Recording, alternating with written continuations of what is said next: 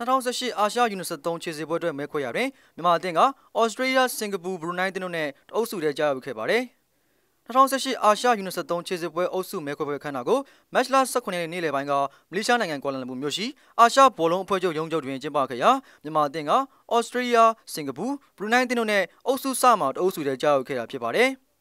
အဲ့ဒီခြေစစ်ပွဲကိုဇုံတစ်ခုခွဲကျင်းပမှာဖြစ်ပြီးစုစုပေါင်းအသင်း40ဝင်ရောက်ခြင်းမှာဖြစ်ကအရှိအာရှဇုံမှာမြောက်မိုင်ယူနာကျွန်းစုဂူအန်နဲ့ အနောက်အာရှဇုံမှရီမင်ဘူတန်နဲ့မော်ဒိုက်အသင်းတို့ကပြိုင်ပွဲမှာနှုတ်ထက်ခဲ့ပြီးကိုဝေအသင်းကတော့ကမ္ဘာဘောလုံးအဖွဲ့ချုပ်ဖီဗာရဲ့ရည်ရည်မှုကြောင့်ဝင်ရောက်ရှင်ပြိုင်ခွင့်မရခဲ့ကြောင်းသိရပါတယ်။မြန်မာအသင်းဝင်ရောက်ရှင်ပြိုင်မဲ့အရှိအာရှဇုံခြေစစ်ပွဲကိုတော့၄သင်း၅အုပ်စုခွဲကျင်းပမှာဖြစ်ပြီးအနောက်အာရှဇုံခြေစစ်ပွဲကိုတော့၅သင်း၂အုပ်စုနဲ့၄သင်း၃အုပ်စုခွဲကျင်းပမှာဖြစ်ပါတယ်။အဲ့ခြေစစ်ပွဲမှာတော့ အုပ်စုတစ်ခုစီမှာထိပ်ဆုံး10သင်းနဲ့အကောင်းဆုံးဒုတိယနေရာ9သင်းတို့ခြေစစ်ပွဲအောင်မြင်မှာဖြစ်ပြီးနောက်ဆုံးဆင့်ပိုင်ပွဲကိုတော့အင်ရှင်ဖြင့်လက်ခံကျင်းပမယ်တရုတ်အသင်းနဲ့16အသင်းပါဝင်ရှင်ပြိုင်ရမှာဖြစ်ပါတယ်